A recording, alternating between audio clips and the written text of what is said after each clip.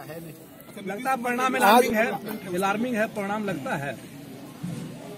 Alarming तो नहीं लगता है।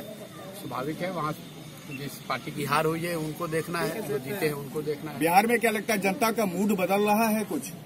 अब इसकी समझ तो आपको ज़्यादा होगी हम तो ज़्यादा जनता के मूड की समझ देश में जनता का मूड बदल रहा है इन इलेक्शन चुनाव परिणामों को देखते हुए क्योंकि नहीं ऐसा अब कंपेयर डिपेंड्स कि आप कंपेयर किससे कर रहे हैं। अगर आप 2014 के मुकाबले से देख रहे हैं तो संभव है कि थोड़ा जो उफान है वो कम दिखता हो आपको।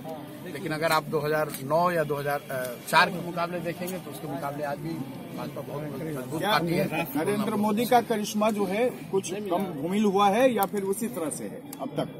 अब ये तो जनता बताएगी अभी पाँच महीने में कि करिश्मा है या धूमिल हुआ है। अभी लेकिन जो जो ट्रेंड्स आ रहे हैं जो डिफरेंट इलेक्शन हुए हैं जो स्टेट्स के उसके जो ट्रेंड आए हैं उससे क्या लगता है कि करिश्मा बरकरार है या फिर खत्म हुआ है? भाई नेता के तौर पे देश में आज भी माननीय नरेंद्र मोदी जी सबसे लोकप्रिय नेता हैं इसमें तो कोई दो मत है नहीं। और लोकप्रियता के पैमाने पे कोई साइंटिफिक आधार पे आप कैसे कह सकते हैं लोकप्रियता कम हुआ नहीं हुआ?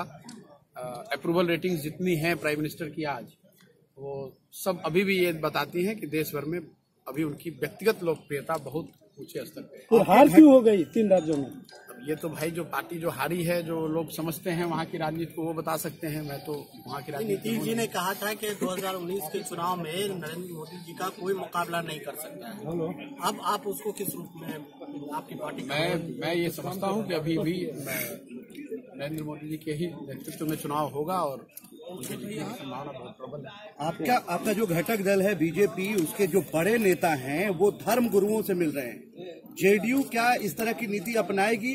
क्योंकि पिछले दिनों जब आरएसएस प्रमुख मोहन भागवत आए थे तो वो बिहार के धर्म गुरुओं से मिले थे। और दो दिन पहले आदित्यनाथ आए थे, योगी आदित्यनाथ, वो भी धर्म गुरुओं से ही मिलकर चले गए।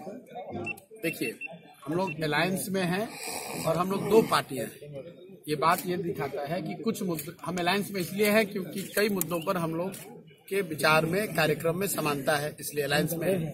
हम लोग दो पार्टी हैं, इसलिए हैं दो पार्टी क्योंकि कई ऐसे मुद्दे हैं जिस पर हमारे आपस में हमारी सोच से एक नहीं हो सकती अगर सब कुछ एक होता तो फिर एक पार्टी होते जहाँ तक धर्म गुरुओं से मिलने का सवाल है तो हम लोग सब लोग जो समाज में रहता है, वो धर्म गुरुओं से मिलता ही रहता है, उसको आप देख- किसी राजनीतिक विचारधारा से जोड़कर देखना ही मतलब ये ठीक नहीं है। राहुल गांधी भी धर्मगुरुओं से मिल रहे हैं।